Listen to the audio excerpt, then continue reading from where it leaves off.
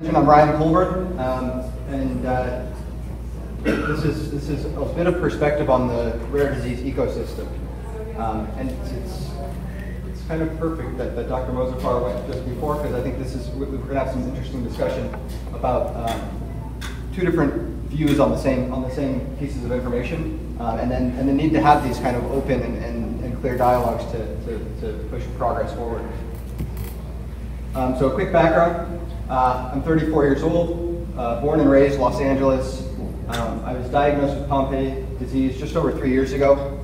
Um, these are my mutations, as, as we learned earlier. The, uh, the one on the left is a super common late onset uh, mutation. Um, thanks, Mom, uh, for that one.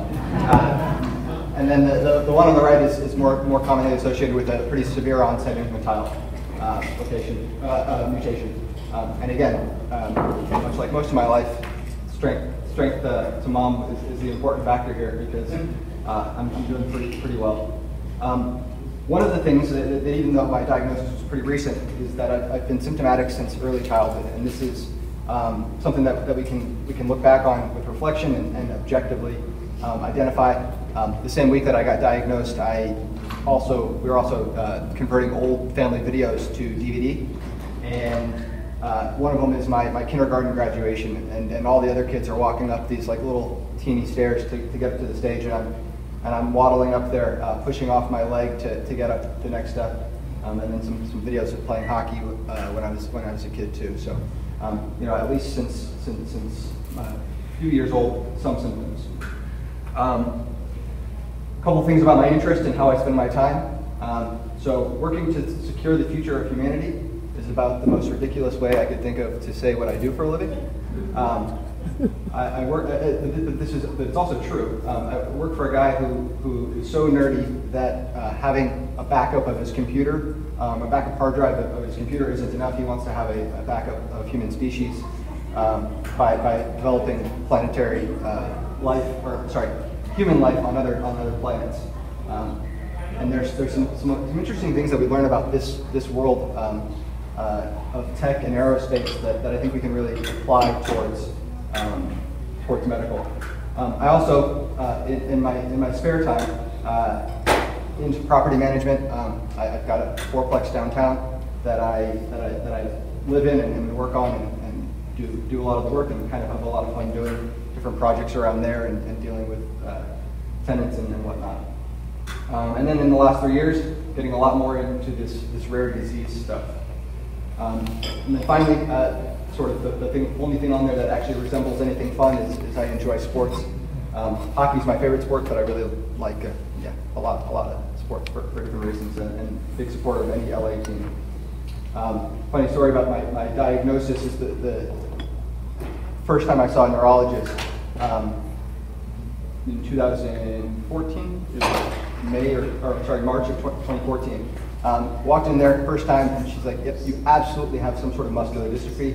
And I said, "Oh," they had a joke that that's why I didn't go pro in hockey, and, and she kind of very stoically said, "Yeah, it would be impossible some, for somebody with your condition to go professional in sports." Um, it was sort of at that moment that I, that I realized that, uh, that things were a little bit more serious, um, but, but that, that, it was important not to take it that way um, and to kind of stay positive about it. So now specifically my thoughts on having Pompe. Um, so it's, it's, been, it's, been, it's been interesting. I, I, understand a lot of my experiences growing up much better now than I did. Um, I only learned what Pompe was uh, three years ago, um, but, but it's really, uh, even before knowing about it, it's, it's a big part of who I have become. Um, and, and, and, I'm grateful for that. Um, I get sad occasionally, but more than anything, it's been really great. Uh, so this is this is really strange to say, but but hopefully um, I can I can convince you guys, and if you, if you don't feel the same way, by the end of this, I can convince you guys that that this is actually a pretty cool thing. Um, as, I, as, I've, as I've sort of jumped into various roles throughout my process of, of coming to terms with everything, um, I've learned that I'm far more interested in rare disease as a whole than I am specifically in Pompe. Um, but I think that, that Pompe has an important role to play in progress for rare disease as a whole. Um, so this is something like, uh, you know, think globally, act locally, I guess. Um, and I'm very excited about the future and motivated to amplify the cumulative effort to get there faster. Um, this is important for Pompe, but also for rare disease as a whole. Um, and so a quick aside on this because, because speed and pace of progress is something that's going to be a recurring theme um, that, I, that I want to bring from my, my professional background um, into uh, to, to, this background a little bit. Um, so if we, if we believe that the future holds some sense of greatness and some sense of, of, of something really wonderful uh, for us, then why wouldn't we have an urgency and an excitement to accelerate our progress to get there? Um, that is different and, and, and, subtly but importantly so than, uh, than, than, cutting corners or, or being impatient. Um, and it's also different than, um, it, and it's also not to say that we shouldn't appreciate where we're at today um, and, and, kind of look around and enjoy uh, our current lives, right? Um, but, but some of these things we should really look forward to, to accelerating um, every way that we can. Um, so my other thought on Pompe, and this is this is this slide's probably um, yeah. Hopefully I explain it well enough because it's pretty central to, to my, my, my my feelings about it. Um, we're super fortunate. Um, we are very fortunate, um, not only in, in, any given disease, but, but especially in a rare disease, that we have so many folks with Pompe treatments in their pipelines. Um, and I think there's there's nine by my count of, of folks with, with that, that I know about, and I'm sure there's, there's, there's more with earlier stages um, of treatments in their pipeline. Um, but it's not luck that got us here. Uh, and this is an important thing that I think um, new patients getting diagnosed, um, we can kind of get overwhelmed with, and, and, and the uh, prevalence of the information that is, that is most readily available um, suggests uh, a story that got us here that is, that is an interpretation of the truth, but perhaps not the entire um, uh, perspective on it. Um, but, but in summary, we got here because heroes got us here um, and, and, and, carried us in some really, uh, I get choked up, uh, some really extraordinary, uh, impressive people brought us here. So off on the chart here, we're, let's say, let's start the story in, in, in, in 1900, 1901 when, when um, Dr. Dr. Pompe was born. He wasn't a doctor yet then, but, uh, but he was born. Um, and then, and, and then even before that, I mean, Pompe is it's sort of an interesting thing. I, I not only just learned this recently, but um, some form of this disease is actually uh, uh, prevalent in, in, in, animal kingdom and, and, species that come far before humanity. So um, in, in, a, in a absolutely historical context, an evolutionary context, um, we're, we're, absolutely not alone. Um, but, but 1900, and a quick thing on, on, on Pompe, um, super, super rock star dude. He, uh, he, he categorized our disease. He uh, fought the Nazis, and he died doing so. Uh, I guess are, are, sort of three three quick things. Um, life cut short, but but we, we thank him for first characterizing Pompe disease. Um, then for, for, for 90 years, well, I guess 60 years from, from when he died, um, there wasn't a whole lot of progress, um, to, to, be, to be quite frank. Um, in the mid 90s, the, the right group of people um, got touched by the disease um, and, and, and, uh, and, took that as a call to action. Um, so really from the mid-90s on, uh, there was a, a, a, dramatically different level of, of activity in, in racing towards treatment for Pompe disease, and, and really even an understanding of what the disease was and how it happened. Um, I'll, I'll, provide a link to anybody who hasn't read it, but that, that goes through uh, in, in, a bit of a journalistic pain, but, but, a, but a, a great account of, of that whole part of the story. Um, no ERT, no concept that ERT would even would even work uh, in the mid 90s to uh, to 10 years later, ERT is approved uh, by the FDA, um, the the EMA, the, so Europe's version of it, and so on. And, and we've been seeing treatments or seeing patients uh, in studies for, for about five six years before that at least. Um, we're now in 2018, as, as I think most of us know. Um, and we're still benefiting and, learning a lot about, about the benefits of, of, of Lumizyme and Myozyme um, and, and, ERT, and, and, as, as we mentioned before, a whole flurry of activity. So we're, we're, we're, working our way up this hill for next generation ERTs and gene therapies and gene editing and, and all these things that are, that are going to provide a level of cure. Um, but there's an important perspective that we can take from, from, from these heroes that started here. Um, when you're standing in front of in, in front of this this this challenge, uh, it's really tough to know with if, if the thing that you see in front of you is actually the top of the mountain, or, or that there lies a peak further beyond that. Um, and I think that, that there's a little bit of, of, of, of truth to that in our experience. Um, the, the level of excitement, the, the, the motivation in, behind ERT um, was huge. Um, and now we see today that there's, there's waning, waning uh, uh, sort of praise about it, and we've, we've learned that there is a plateau and there's an absolute need for further, for further meaningful development. Um, I think from the talks today, we, we I, am convinced, and, and, and, from previous, but and, and hopefully the folks in the room are as well, that this next plateau, this next level of, of gene therapies or, or, um, or ERTs is not likely to be uh, the, the end of the journey that, that, that we want. It's not like, likely to provide the, um, the absolute outcome that, that I think that we really want to push for. So there's, there's, a, there's a next level beyond that, and, and hopefully these, these don't have another 10-year gap or 15-year gap in between. Um, and, but but I'm, I'm also unclear on what, what comes beyond that. I, am not sure how far away we are.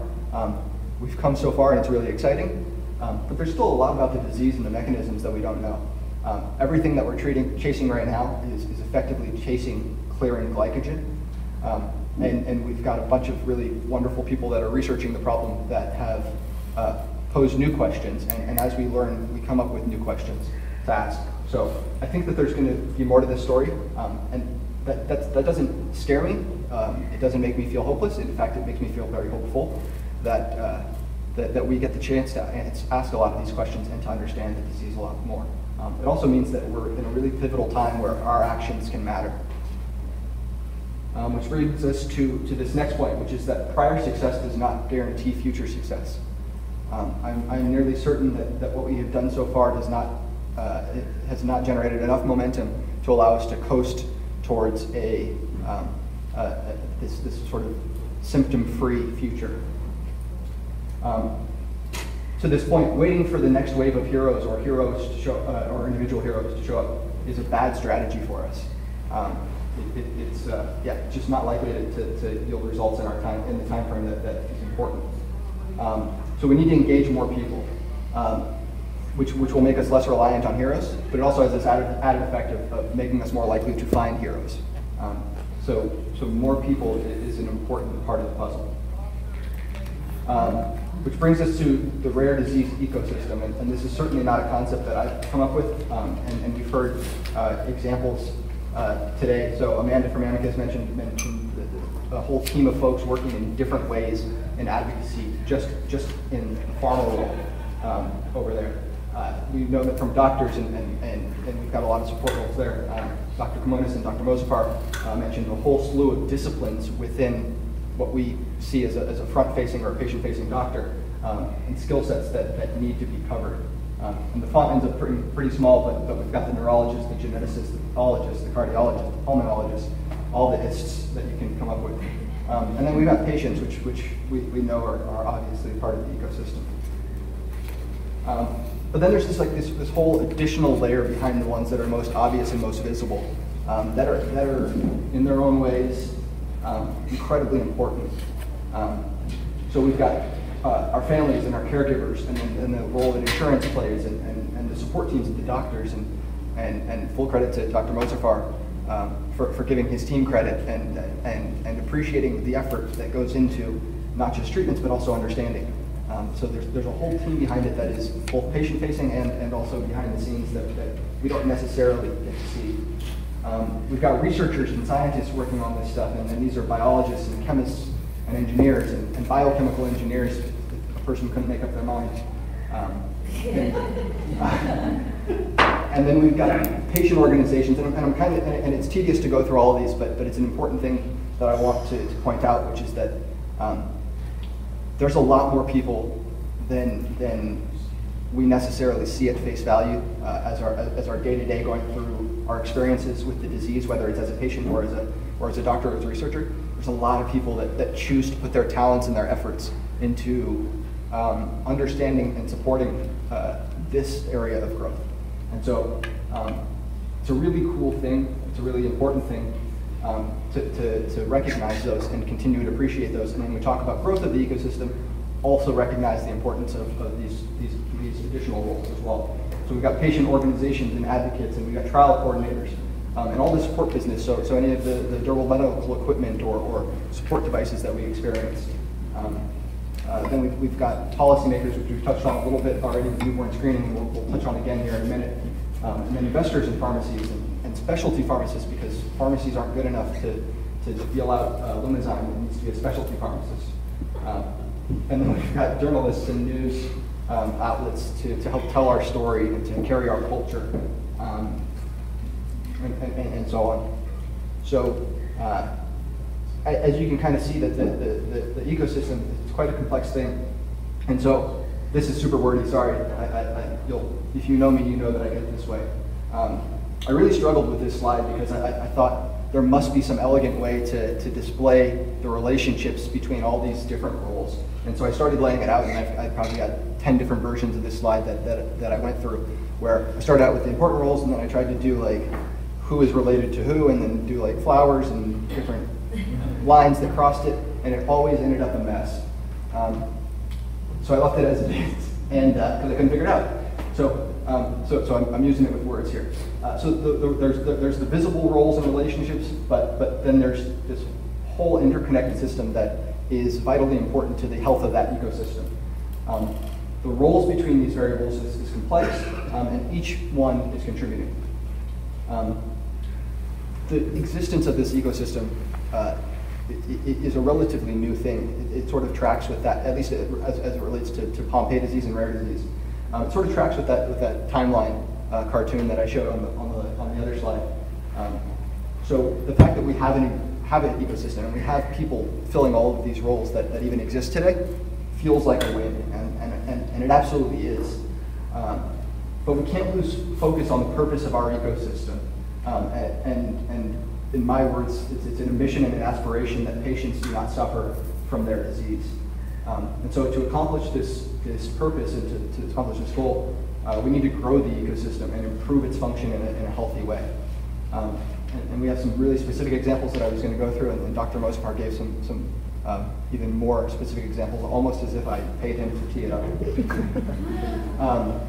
so with this in mind, uh, I, don't, I personally don't see any other way uh, than to elevate the patient role uh, in the ecosystem um, and to, to, make sure that it is center focused. And, and, this isn't to say that, that the other roles take a backseat to it. Um, it's that we, we make sure that we're keeping patients as, as the central and absolute central pillar. So um, we'll go into an example um, of, of, of, how the ecosystem kind of works. Um, so newborn screening as an example, and, and I'm glad that we picked this one. I was a little sad because some of the same data that, that was shown is data that I'm showing, um, but, but with a little bit of a different twist on it. So primary objective um, is, is, essentially that since treatment is possible, um, the, and the infantile onset form of the disease has a devastating progression, we should identify that as soon as possible, to start treatment as soon as possible, uh, to improve the, patient, the outcomes for patients. Um, and so this is um, this is so, some impressions and highlights on that is that it's it's overwhelmingly positive and really remarkable the impact of newborn screening. Um, Taiwan uh, really gets like two or three gold stars for, for carrying the torch on this one. Um, they, they did their first large-scale uh, uh, demo, if you will, or, or trial of, of, newborn screening in 2005. Um, and that that 2005 to 2007 period, they covered about 45% of the, of the population of, uh, uh, births in Taiwan uh, with their newborn screening. Uh, and they learned a lot, and, and, and, and Dr. Mozaffar touched on some of this, because newborn screening, when we talk about it, it sounds like this singular thing that it, it maybe is easy. Um, it, it's absolutely not. Um, there, there, there's a ton of complexity to it, and it's where do you draw the lines, and, and, and how do you uh, do tests and have fault and, and, correct for false positives and false negatives and, and, and all these things. Um, sort of uh, in, in, a, in, a, joking way, the, the, the, old school version of newborn screening was have two kids, um, and, and if your first one has Pompe, then you're then you're, you're hopefully ready for the second one. Um, but we can and, and say this not to be funny, but the, the, the, first literature on the effects of positive outcomes uh, from, from early access to treatment are from this exact scenario. Um, and, and, and at the end of this, and I can share it with folks, is, uh, is I, I tried to pull some of the literature that, that supports what we're talking about today that is free and available in the public domain for anybody that wants to dig deeper. Um, so, so this was a, um, a, a sibling pair in, in Japan um, that, that, that, that, had remarkable difference. And, and, and this kind of confirmed uh, something that was, was happening all over the, the world of Pompe, uh, this, this concept that the earlier we access treatment, the better the outcomes might be. Um, and so, so with newborn screening and, and developing a technique, and, and, and we've got complicated versions now, so we've got tandem mass uh, spectroscopy, and we've got digital microfluidics, and, and all of them are, are, are, just to say that they're, they're more scientific ways, more precise ways of, of detecting it, and, and there's going to be another more precise way beyond that. Um, these ones aren't, aren't perfect, for sure, um, but, the, but they're pretty great. Um, so they reduce, these, these, these improved techniques are focused on reducing costs, improving accuracy, improving speed, um, and, and, and, reducing the burden on patients. Um, and, and, these patients, in this case, are, are non-diagnosed, uh, potentially very healthy newborns. Um, and we've taken clinical, something that, that, that um, we used to only be able to diagnose on a clinical basis once there was uh, uh, sort of the disease has already taken its course. Uh, and that was happening on average in, in, in, six to seven months for, for classic infantile onset um, with, as we've already talked about, the, the, the uncomfortable reality that, that uh, those children were, were, not seeing their first birthdays uh, in, in, the absolute majority of cases, and, and then certainly uh, in 100% of cases, we're not seeing their, their second birthdays.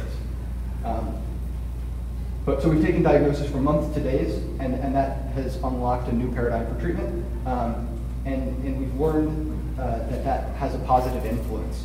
Uh, we've also had a chance to directionally test the positive influence of, of, of this, of this thought that faster, uh, faster access to treatment is, is important. Um, and so Taiwan, again, uh, leading the charge here. Um, before 2010, uh, so after this initial screening and before 2010, uh, had an average time to, to from, from birth to treatment uh, for, for positively diagnosed infantile onset Pompe disease of, of 20, 21 days. Um, and then after 2010, they said, what if, what if we can do it even faster? And, and so after 2010, there's a cohort that is, has an average uh, access to treatment time of, of 11 days.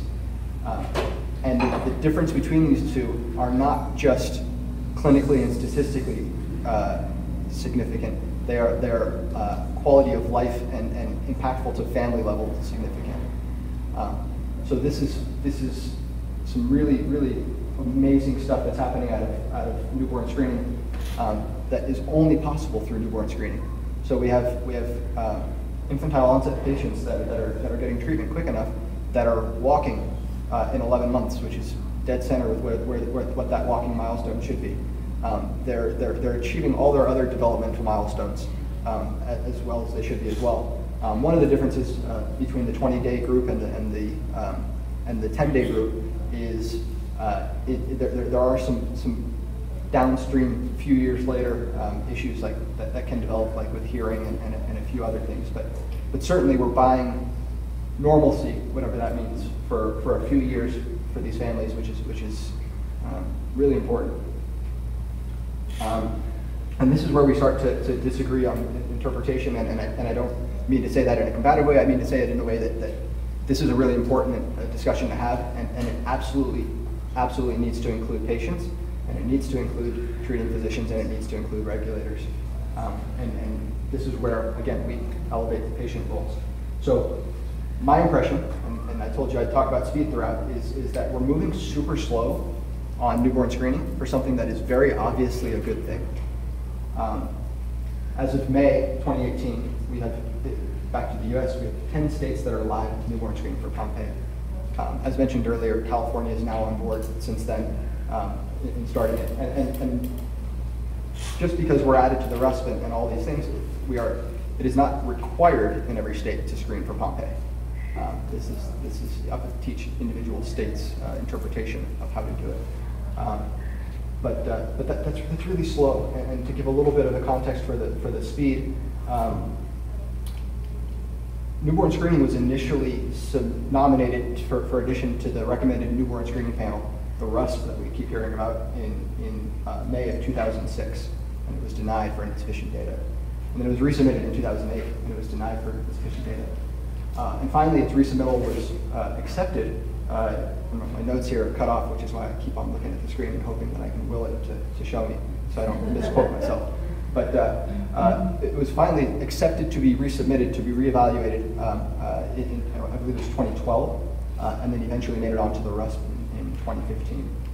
Um, those last couple dates, forgive me for being a year off on.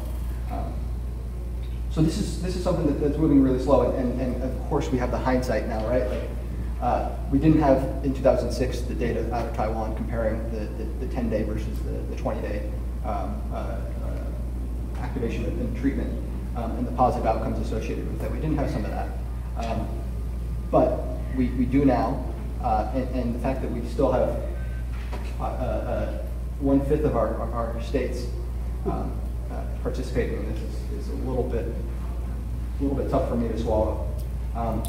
When we talk about cost, the major thing that, that, that, we're, that, we're, that is that, any, that anything can say, and, and uh, I think a lot of people say, but it's children's lives that we're talking about here. Cost shouldn't matter, and, and I don't disagree with that. But um, unfortunately, I'm a little bit more pragmatic, and, and so I, I, do put enough weight into the cost side of things. Um, and I've not ran the numbers myself. I think I consider it a waste of time because it seems pretty obvious to me that um, access to treatment versus uh, the the falling into the to the cycle of advanced medical care is going to be cheaper. Um, at least, at least, e even even with the current ERT, which is really quite expensive, um, at, at, infantile doses, it's, it's, it's manageable just because it's, it's smaller and we've got uh, some, some adoption from, from the insurance side. But um, I think that, that, that, the studies really quite clearly are, are favored towards this is actually a cost saving measure. Uh, not to mention the, the more important part, which is it is a life saving measure. Um, so some of the same data that, that, that was presented earlier, um, with, with, one update, Missouri's since published, uh, uh, added some additional folks um, to, the, to the chart that we showed earlier, so now we're up to 340,000. Um, so, so just to kind of put this to bed, because we, we've, we've all heard the, the 1 in 40,000 number, and quite honestly, this is still the number that, that people are quoting as if it is the, the, the con continues to be the, the current state of understanding, um, and it's, it's, it's wrong.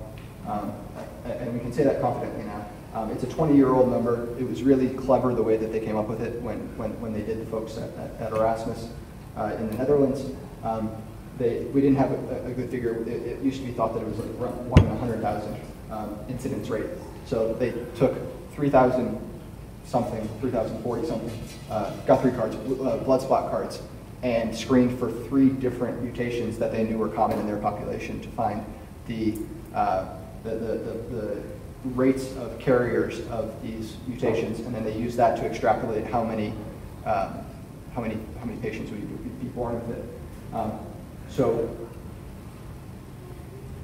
we can challenge the set of data all we want on newborn screening, and we can challenge the test methods, and we can challenge the accuracy uh, of the first level screening, which is just a GAA activity, uh, enzyme activity screening.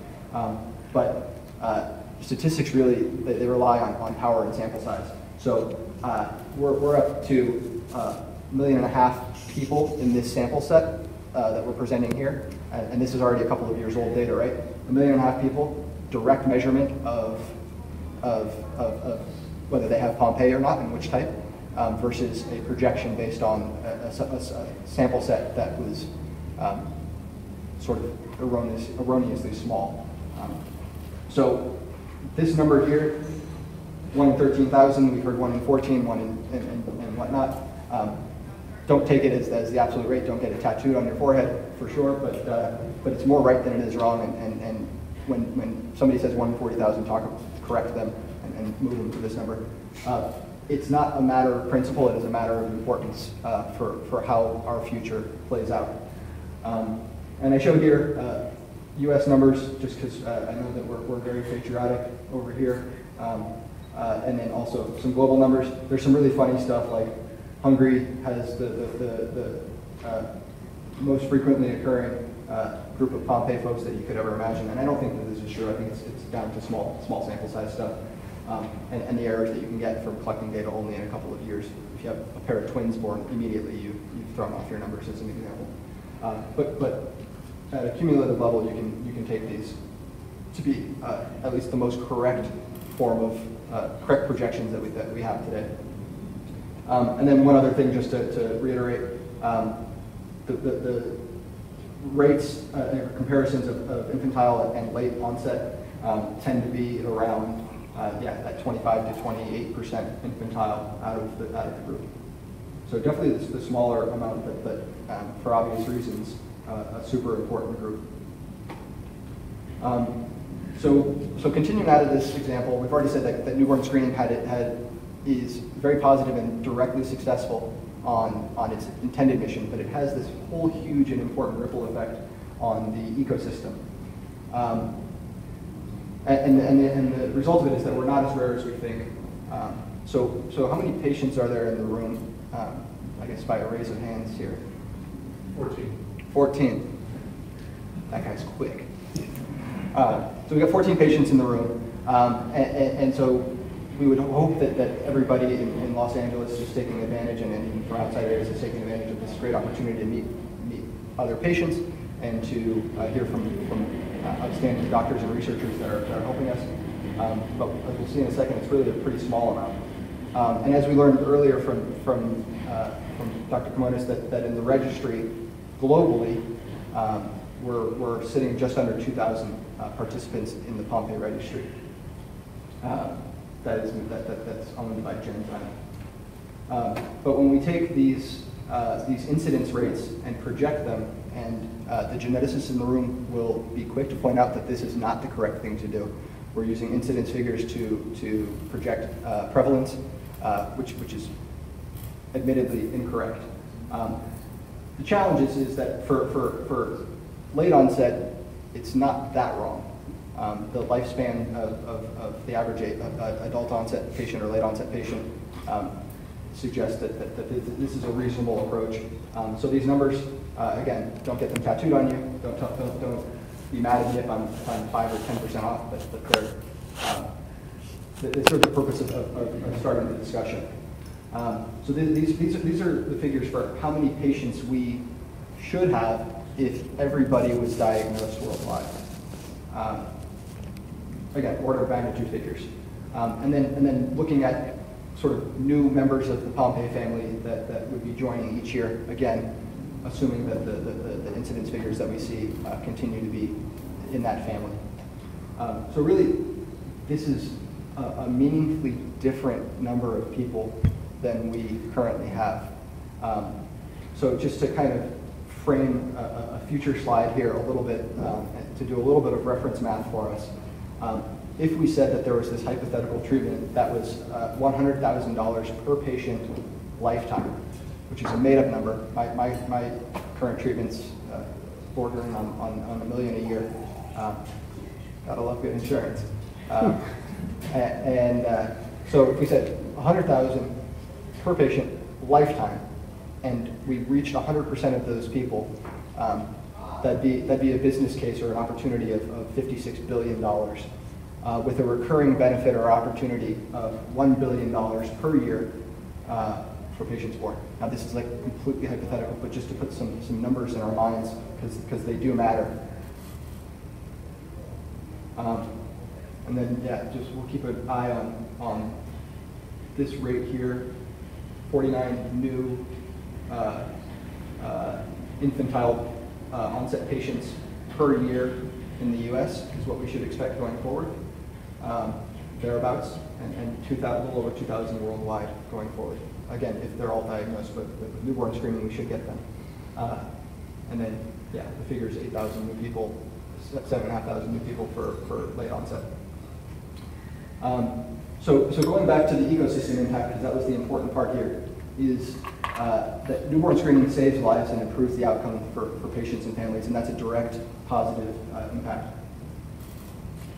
Um, it also helps us to recruit, and this is one of the things that, that um, abs i absolutely understand the, the argument against newborn screening on the, on, on the grounds that for the majority of the people that we're catching, with our current methods for newborn screening. Uh, 78, 72% of those people uh, are going to be adult onset. Um, we're, we're potentially causing them to worry about something uh, at a time when your anxiety is already high anyway, having, having, having a new child, uh, causing them to worry about something that, that they may not have to worry about for some years. Um, I, I'm not aware of the data suggesting that that time frame is 20 to 30 years. Um, I think that, that where that comes from uh, for, for when we're talking about the, the age of onset, average age of onset of symptoms for, for adult patients, I think that that's an artifact of, of the way we currently diagnose. Um, I was diagnosed at 30, so I like uh, 29, but 30. I can't do math apparently, that's why I need to have it on here. The, so, so I fit like right in that ballpark. But, but I've had symptoms since I was a kid. And, and when we look at the data that, that suggests when, that, that, tells us about when uh, adult patients are getting diagnosed, it says that they're getting diagnosed at, at an average age of like 35 with an onset of symptoms 10 years before that. But this is a patient saying, yeah, I think I felt weaker then. Um, so it's, it's, not a, it's not a very scientific way to say that the onset of symptoms had occurred. Um, so I, I, I don't put a lot of stock into that figure. Um, and, and even if we do, uh, I think that we're, we're, we're losing ourselves in the weeds of the thing. And, and absolute credit to the roles that, and, and, we're going back to the ecosystem part of it, right? Different roles have different perspectives, and it's really important that they do. We need to have these different roles in society. We can't have a, a, a, a collective and singular thought process in that, in, in that ecosystem. Um, it, it, wouldn't work. Um, but we've got researchers who are playing an important role in, in, in, the, ecosystem that, that favor uh, precision um, and correctness over efficacy. And that's a really important thing, and, and I wouldn't want them to be any other way. Um, the, the feeling of telling a patient that, that they have to worry about something when they really don't is, is, is not something that, that, that you want to do. You, you, you have the potential to do harm. Um, but, but I don't think that we should address the uncertainty with, with newborn screening as an example by dragging our feet around it. There's absolutely going to be problems that we're going to run into, and, and uh, if, if my cartoon is anywhere near correct, um, I believe that we're going to run into some other learnings and educations and, and opportunities and challenges as we go through the rest of, uh, of, of, this Pompe journey. Um, we're going to learn new things, and we can't let the fear of learning those new things slow down our progress now. We should run headfirst into those and then, and then address them as we do um, and collect data on, on, on them to describe them. Um, so, uh, yeah, the, the, there's another important part that, that, that, we were right on, or that, that I completely agree with, with, with Dr. Mozaffar on, which is that um, our current landscape is not equipped to deal with these kinds of numbers that we're generating. Um, there are not enough knowledgeable physicians, there are not enough knowledgeable geneticists, there are not enough, uh, there's not enough uh, production capacity in, in, in, the, uh, in, the, in the industry partners that we've got to, to address this. Um, but we can, we can, we can, we can tackle those problems with, with the benefits that we've gained from newborn screening. So we've got an opportunity to get more data and really significantly cleaner data. So better science equals a, a faster pace of progress. Um, we don't have to look at all these charts that you have to have a PhD, quite literally, to understand. Um, and to try to like look at with your head turned sideways to try to draw a trend out of. Um, I, have met a lot of patients and, and uh, in the level of intelligence amongst the patient population is certainly more than sufficient to, uh, to participate in, in this part of the, of the disease. Um, we just, we, we need to make the, the, the data better so that it's, uh, it's, it's more easily interpreted. Um, expanded reach of newborn screening attracts new and diversified talent. Um, so we said that there's, there's 400,000 something folks in the world that should have Pompe disease, and we have 2,000 of them, plus or minus 5,000 if you really want it, so, just so that nobody argues with me about, about who's participating in the registry. But we, we've got 99% of our people that are not that are not captured and that are not participating in the ecosystem right now. Um, and the, the, my interpretation of that of this is because they, they aren't severely affected. They're folks that are, that are out there um, in, in, in the working force and, and, and, and doing things um, and have, that have developed different talents because they, they have not had to, to sort of had, have their time sucked away from them to, to worry about this disease. So we've got um, lawyers and researchers and, and artists and, and, web designers and, and, and counselors and, and all these folks that are in this eco, that, that have this connection to us that, that just haven't been tapped into yet, that can really help the ecosystem and the health of the ecosystem. Um, we're, we're increasing the fundraising opportunity.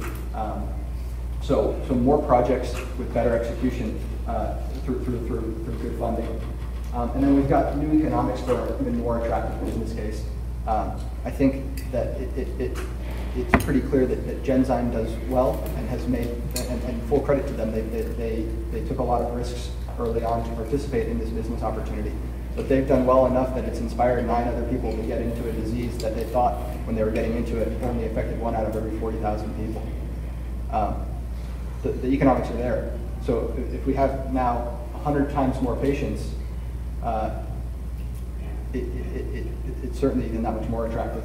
So we can't lose sight of that, that, that there is a business role to play here, but, but fortunately for us, uh, newborn screening actually uh, solidifies that, that, that as an opportunity. Um, one of the things that, that isn't uh, uh, listed on here, but I think is an important one, um, I don't know the right answer on, on, on, on how, uh, what the psychological impact of, of learning that you have a disease or that your child that's a couple days old now has a disease that may come and get them in five to 50 years. Um, I, I, don't underestimate the, the, the, negative that can come with that. Um, I know that from, from my experience and from, from my mentality, and I, and I think from, from another, a number of folks in the room, um, if you had the opportunity to participate as early as possible to help your current state, um, or to look at the next patient coming up behind you as, as, as a different version of yourself, and you had the, the opportunity to help them out by participating now, um, I'm not saying that everybody would take it, and I'm not saying that I would judge the people that don't. But out of, out of, out of 8,000 new people a year, I bet some of them would. I bet some of their parents would, and their, and their brothers and their sisters and their, and their, and their coworkers and, and so on. So um, to, to deny the, the merits of newborn screening, even on the grounds of, of uh, adult onset or late onset Pompe disease, I think that there's a serious discussion that, that, that needs to be happening there, to happen there that considers um, the long-term effects of, of, of, the psychology associated with it. Um, and then coming back to this, to this, this theme that, that we keep beating the drum on, our probability of success increases with ecosystem growth. Um, again, we can't, um, our, our, goal is not to find like the next singular bright doctor, the next um, singular bright researcher, and, and, and, and, and overload them. Uh, we're, we're, we're much better to, to crowdsource this issue, uh, to use a, a, popular term now, right? Um, and, and, with newborn screening, we've tar we have targeted crowdsourcing, which is really like every advertiser's, you know, absolute dream. Um, we know who the one in 13,000 people are that care the most. And the only people that care more than them are their parents. And we know who they are too. And we know who their siblings are, and their friends are, and their families are, and their coworkers, and so on. Um, we're going to find new cases of parents that, that, didn't know that they had diseases, David mentioned earlier.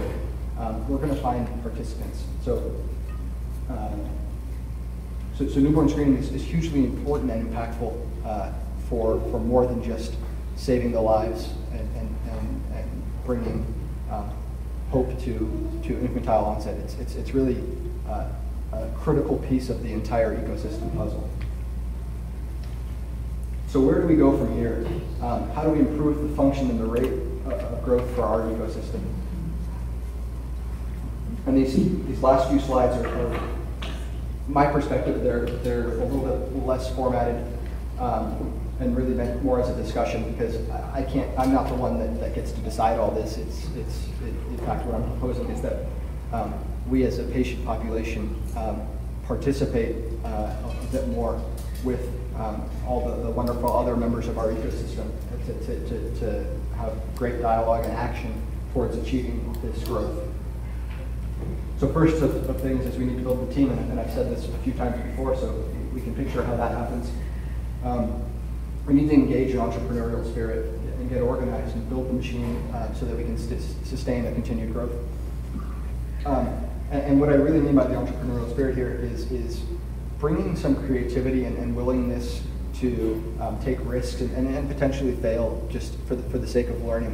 Um, uh, I, can say this, I guess, for, for, for myself and, and, and hopefully, again, not for every late onset patient, but certainly a subset of them will have the attitude of, I, I can, I can afford to, to, to, to lose a little bit to make progress. So I can, I can take a little bit of risk to make, to make progress faster to help out uh, my future self or, or, or my friends that I've made through this community or, or the next person coming along that, that's just like me. Um, so, so that's what I mean, is, is, getting creative and, and, and, being innovative about how we approach the problem. Um, uh, we're also sort of, we have this benefit of, of our rich history with this disease, and, and it, again, um, I'm excited about it, and, and, and one of the reasons is because I've, I've seen and, and read up on, on what folks have done that, that have come before um, and participated in, and, and, and David had a, had a ringside seat and, par- and participated um, in, the, in, the, in the 90s through, through this and, and continues to do so today. Um, and, and, so, and so to the researchers and the doctors that we've, that we've got in the room and, and, and the geneticists. Um, so I, I only kind of get to read about these stories and, and hear about them the way that, that you might uh, you might hear about this, read, read a comic or, or something like that, and, and be amazed. Um, it, it's so super interesting and, and really wonderful. Um, we also have the benefit of, of, of, accessibility of information and peer learning. Um, there's a lot of groups who actually took cues from the original Pompe efforts um, in, their rare diseases and, and, have applied some new organization and, and, and execution techniques um, to varying degrees of success. So we get, we get, to, we get to learn from, from, a, from a, a more developed landscape. Um, we also have a lot more people. We just said that newborn screening helps us get a lot more people. So like this is finding people who are, who are motivated is not our, our concern anymore. Um, actually getting them uh, uh, to, to know that they can contribute is, is where we can, we can do something. Um, and, and we've got a compelling business case. Um, so our, our, our probability of, of success improves with ecosystem growth. growth. Um, so we need to actively improve the, the health and the size of our ecosystem.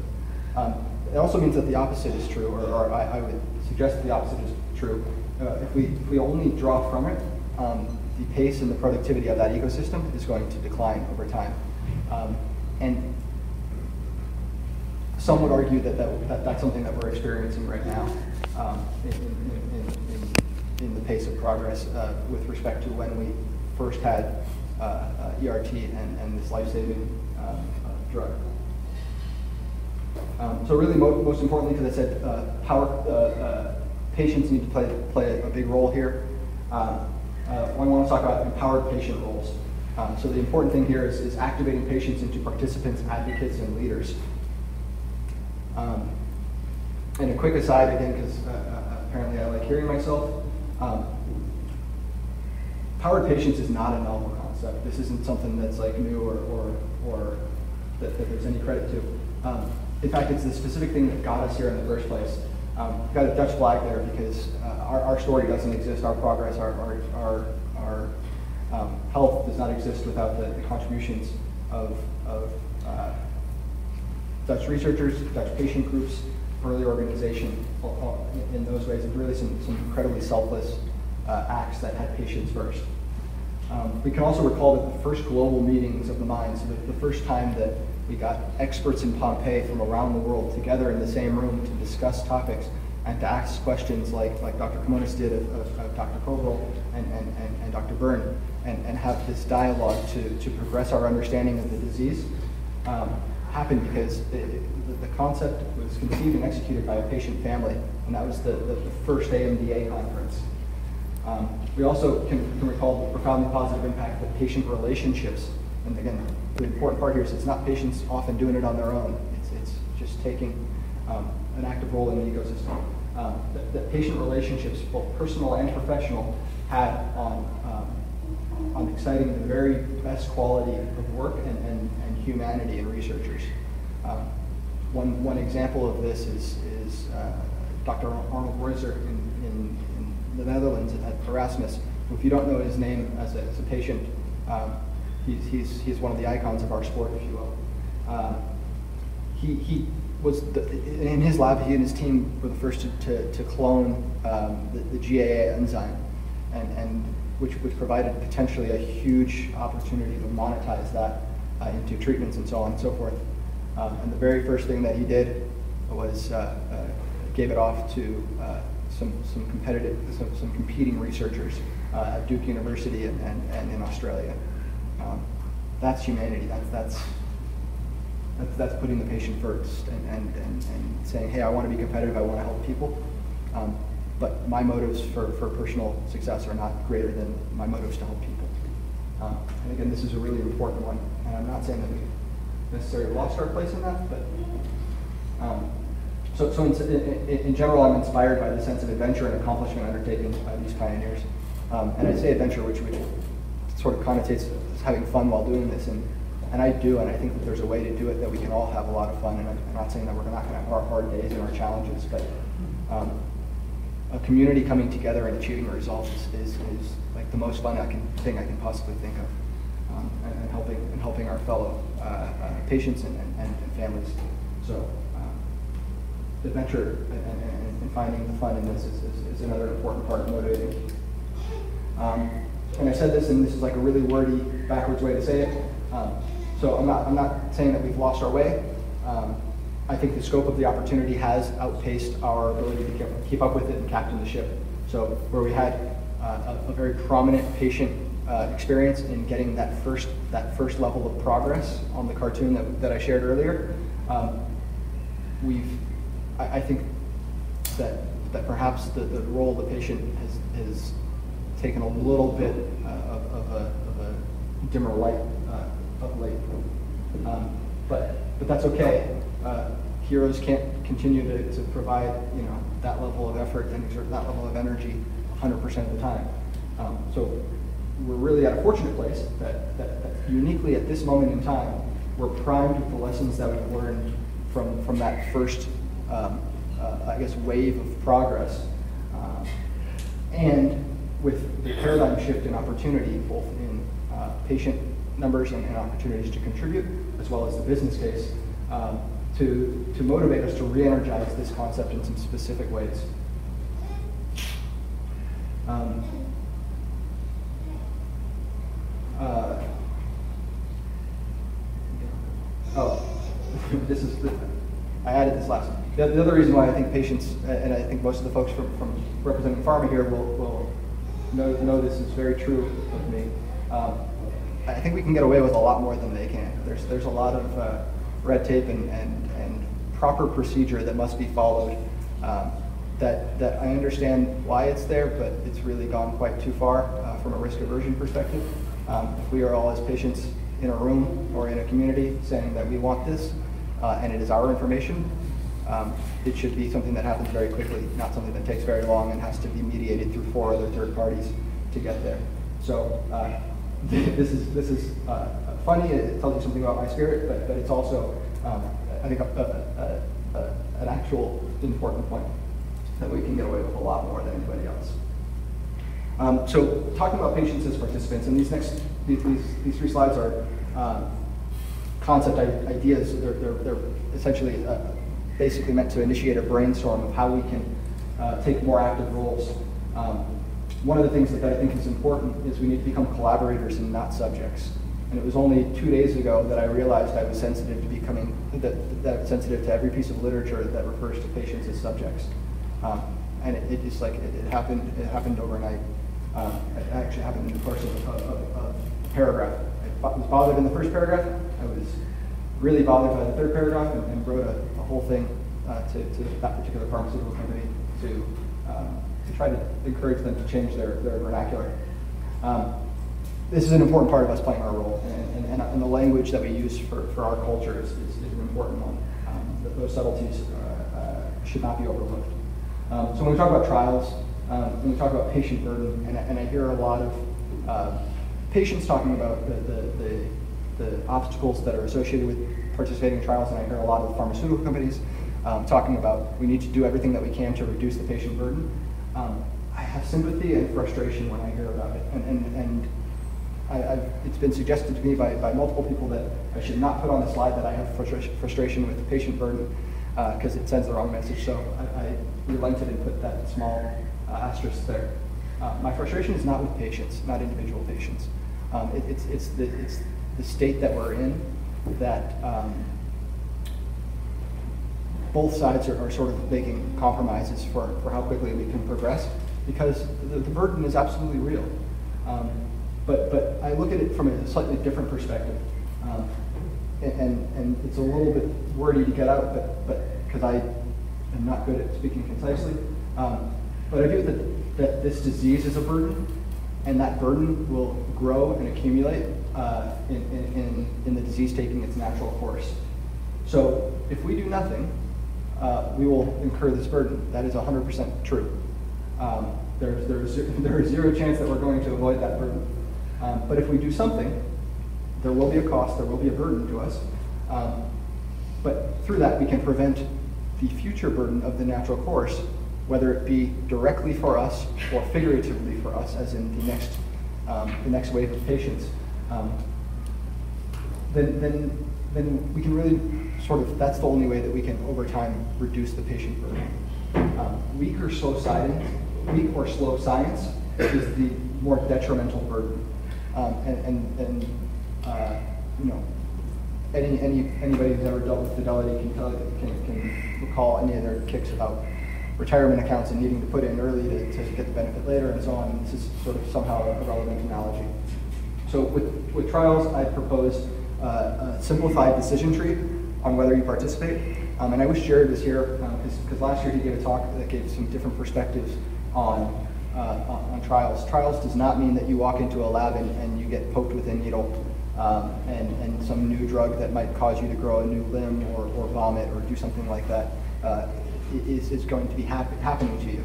Um, there are those too, but, but, but there are trials that um, I was talking with David. I, I did the, one of the first trials that I did. Uh, I did from literally, quite literally, from my couch. Um, it was a, a, blood spot sent off to uh, a university in Germany that, that uh, is researching new ways, better ways uh, to do Pompe uh, newborn screening and positive diagnosis and cheaper and faster methods. Um, I've done trials where you can, where, where, where it's an ultrasound essentially, and it's a one-day thing, and, and, and it's ways to try to find non-invasive um, diagnostic tools for muscle strength and muscle, muscle activity. I've done the invasive versions of those too, where they stick um, electrodes into your shin uh, two, three inches deep and, and, try to stimulate the muscle tissue or the muscle fiber to see if it responds the way that it should. Um, those, those, are less pleasant for sure. Uh, but, but, but, but hopefully uh, those examples can, can, can provide the, the, the, the, new vision that trial doesn't mean that you're a guinea pig. Um, trial can mean lots of different things and, and they can mean different things for different people, but it does mean that you are participating in advancing the state of understanding and advancing the state of, of treatment for uh, the disease. So decision tree, proposed decision tree is, um, should I participate? Your default answer should be yes. Um, is, it, is it, then the modifier should be there, is it a low number of visits? Yes. Is it, so that I'm staying in it? Is it, close to me or easy to do? Yes. Are there potential negative impacts? Then I'll think. Um, there's other things that come into it, right? There's, there's, but, but, but simplify the decision tree. Have a default um, perspective that, that I'm going to participate in this, and, and then you can do it on your own terms. I'm, I'm not, I'm certainly, uh, uh, would want to protect against judging people based on, uh, you know, somebody is, is better because they chopped off their arm for, in the name of Pompe versus somebody that only walked uh, for somebody with a timer for six minutes. Um, there's enough of us in this new paradigm, in this new world of Pompe that, that, that if we can each participate in a very small way, or even a, a percentage of us can participate in a very small way, we can have a hugely meaningful impact in accelerating pace of progress. Other ways that we can be participants is, is, is learning, um, getting educated and, and, and, going to conferences and participating in conferences and, and having um, discussions with, with our local doctors, with, with other rare disease patients, with, um, with our communities for awareness. These, these are all uh, forms of participating. Um, fundraising, and I put our money in here because on the next slide I'm going to talk about other people's money. Um, there's a, there, there, there are a number of people who have given a lot of money um, either directly out of their own pocket or have, through great effort of theirs, found other people to, to give money to support our causes. Um, we all had, had, had, a steak lunch as an example of, of one way that, that fundraising has helped, uh, or, or fundraising contributes to the overall ecosystem. Um, the good news is much like the, the, the role of, of carrying the weight uh, of that boulder up the, up the mountain, um, we've got a lot more people now. So like, you know, that whole crowdsourcing thing, if we can, if we can get everybody to give a dollar, then we don't need the, the, the, the individual families to give a million. Um, but we should still encourage them to do that too. Um, and then mentoring and teaching and supporting, so participating in, in the roles of, of lives of, of other patients. Um, we saw on the slide earlier, we're going to have, uh, what did I say, 49 new, new uh, infantile onset patients in the US every year. So we're going to have uh, 100 new parents that are scared that their whole world is crashing down around them. That, that, that could use somebody that, to, to help them to understand how to, how to move forward. Um, there's adults that are, that are, that are going to start experiencing symptoms, and, and, and they're going to get to the, to the age where, um, you know, the, the, the, fact that they, they, they, walk a little bit funny, or that they're on a ventilator, or that they have all these things are going to be a direct conflict with their, with their desire to fit in or to, um, to, to, to, to, go dating or do anything. Um, mentors can help help people through those those challenges. Uh, they can also do some very practical things like, hey, who do I call if, if I need a better BiPAP or if I need new supplies or if I want to challenge my insurance? Um, so th these are important ways that we can participate um, and, and, that don't necessarily give anything of your, of your body or of your, of your health. Um, I, I, would actually argue that you probably get a, a, much improved health out of participating as a mentor. Uh, and, and then the role that the, that the, of the person that you're helping is, is, is really uh, an appreciative role as well. Um, so then, then, patients as advocates. Um, so, so newborn screening is, is a super great example of, of the power of, of patient advocacy. Um, we managed much, much to, to, to, to, to grumpy old man Mozaffar's over there's uh, uh, chagrin. We managed to uh, get newborn screening approved without uh, figuring out all the problems that were going to come from it. Um, I think that's a good thing. I understand why it's a bad thing, but but this is a, it, one way or the other. You have to kind of take it as an example of patient's power in, in, an advocacy role. It didn't happen fast though, and it certainly didn't happen without without a significant amount of effort. Um, I wish Sabrina was still here because she she participated in a lot of that too, um, to, to help describe it firsthand for folks after afterwards. Um, but so that, that's that's. Uh, pro-patient policy kind of stuff. Um, talking about education, accuracy of information. Um, uh, this, this is a really important one. Um, so we, we can advocate for correct information. I think it's wonderful that we have uh, Facebook groups and, and, and, and, social media to connect all of us. I cringe every time uh, there is inaccurate information being spread.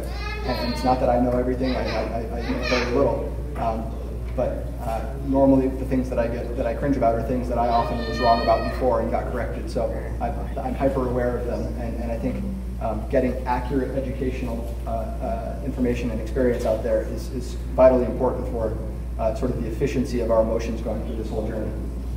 Um, I want to hold uh, doctors and hospitals and insurance companies to be accountable.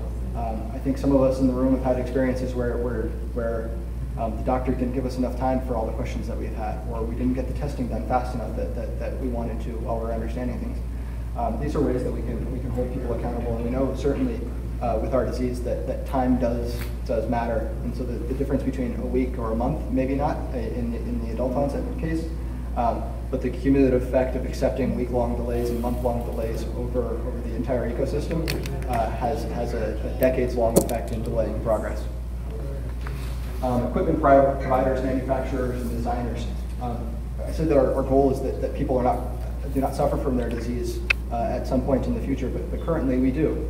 Um, how do we how do we get better better better equipment um, to help us breathe at night, to help us get around mobility um, at, at, different stages of our of our progression? Um, how do, how do we how do we advocate for, for improvements along along those routes, and then also costs associated with it? Talk about um, uh, pro-patient policy. This one is, we talked about our own money. Um, now we're talking about allocation of government and private sector funds. How do we get, how do we get Genzyme to, to, to invest even more money? How do we get Amicus and, and Audentes to get more money or help them to get investors from, for, for, to, to fund their science? um, through, through uh, grants or, or funds from, from private sector.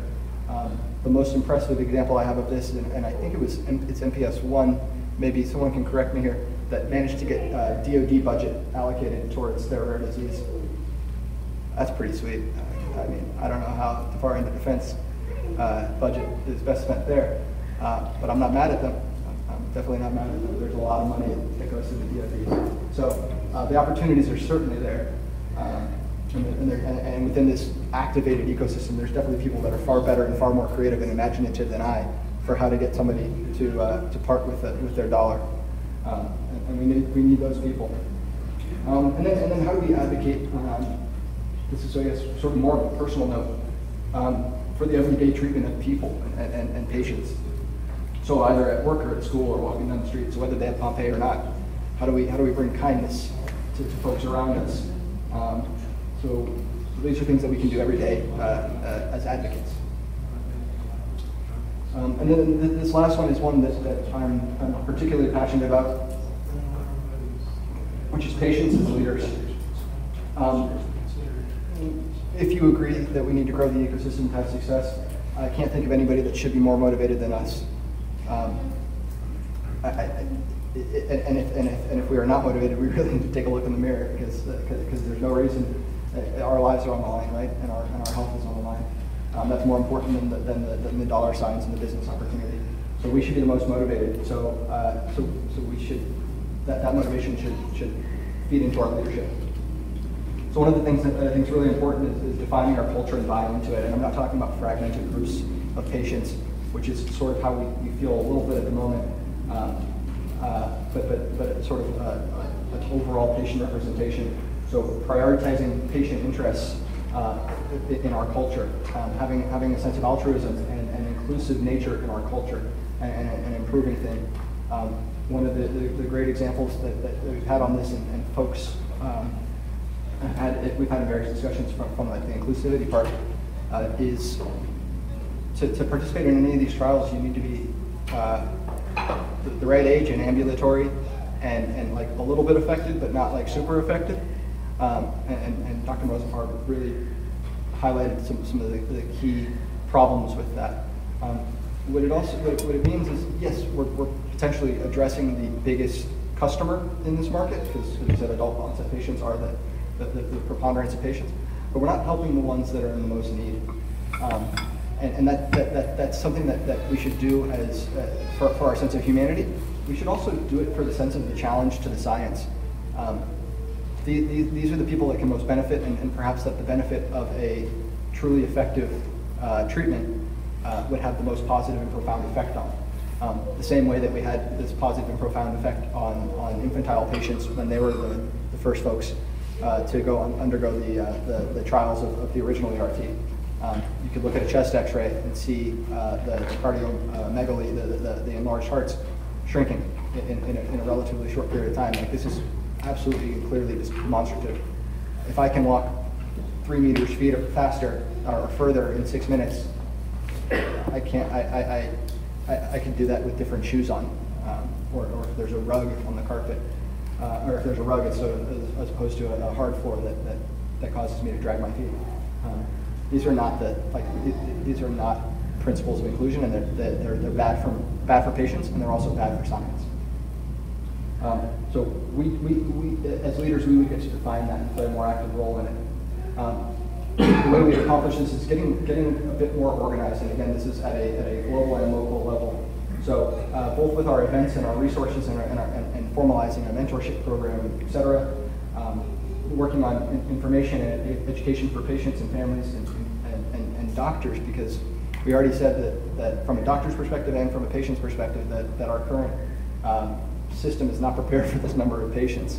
Um, I, I, I've dealt with a lot of doctors and had friends that are doctors that, that don't like say, Pompe, I, I think I heard about that once in med school. Um, so how do we how do we how do we make this a lot more uh, a lot more common of a disease for them to know what to do with um, and, and do it in the right way so that, that patients don't have to travel across to Duke to, to get support or travel over to Florida to get support. Um, fortunately, we have we have the efforts at Irvine to make it closer for us, but but that's three sites that that are uh, arguably the, the, the predominant centers in the U.S. Um, that, that doesn't, certainly, certainly doesn't cover the patients that, that, that- exist. Um, fundraising and allocation of those funds. Um, so, so there's lots of different ways to spend money. Um, patient education, uh, patient interaction with, with pharmaceuticals and, and with researchers is, is an important one, but, but funding the research in and of itself is, is another way that we can, we can participate. Or providing uh, seed money for, for, for, a- for a med student to, to- which is relatively cheap, to, to uh, work on Pompe because, hey, they- we were the ones that gave them money and data. Uh, And, and once you know it, that talented person is more likely to go into the next phase of their career interested in Pompe because it's the only thing they know. And now we've expanded the ecosystem that way. Um, There's lots of different ways where fundraising and allocation and a lot of, this is that that entrepreneurial and creative spirit that um, can, can really come in in, a- in the most obvious way. Um, One of the other really important parts of, of uh, getting organized is a patient-owned and independent registry. Um, uh, We are so fortunate, a- and, and like, rare disease 101, disease 101 is, first step you do is start a registry. Find, find out who else is like you out there, start to collect information. This is the information that you're gonna need to understand for yourself, uh, and, and also to, uh, to, to, to support the research. Um, We're very fortunate that, that uh, this data collection and, and storage can, can be an expensive task, that we've got Genzyme that, that undertook that task for us. Um, And they've, I, I think in, in- in many ways, uh, recognized the potential conflict of interest here and, and tried to um, by putting in place measures that, that, that separate the business side from, from the patient side. Um, As time goes on, the ability to maintain that separation uh, becomes harder and harder to, to, to meaningfully achieve. So I think now that we have this whole new group of people coming on, we're only got less than one percent of Pompe people in the registry anyway. Uh, like, you know, independent registry that, that we can, we can use, uh, that has patient-owned data is, is really important. Um, and then engaging partners. So overall, as leaders, we can stimulate the ecosystem. And that's a, that's a really part, important part of our progress. Um, and, and with that, I, I think I'm, I'm done. I've rambled on enough. Um, thank you for, for hearing me out. Um, I'm happy to, to chat about any of this or share any of the information or, or more details about my journey with anybody who's interested. Thanks.